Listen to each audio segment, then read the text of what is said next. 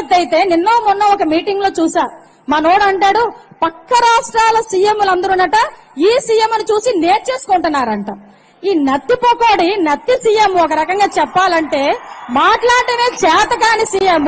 ముఖ్యమంత్రిగా ఒక press meet డైరెక్ట్గా పెట్టలేని ఒక దద్దమ్మ సీఎం ఈ రోజు బయటకు వచ్చి నన్ను చూసి నాలుగైదు ముఖ్యమంత్రులు నేర్చేసుకుంటున్నారని చెప్తా ఉంటే అయ్యా నాలుగైదు ముఖ్యమంత్రులు నిన్ను చూసి ఎలా ఉండకూడదో సీఎం అన్నది నేర్చుకుంటున్నారు తప్పించి ఎలా ఉండాలన్నది మాత్రం కాదు అన్న సంగతి ఈ సభావేదికగా ఆయనకి నేను గుర్తు చేసే పరిస్థితి. మంత్రులు ఎమ్మెల్యేలు ఉన్నారు. కనీసం సీఎం దగ్గరికి వెళ్ళి మాకు ఇది కావాలి అని అడగలేని దుస్థితిలో ఈ రోజు మంత్రులు సీఎంలు ఉన్నారు. ఎస్ నేను గర్వంగా చెప్పగలను.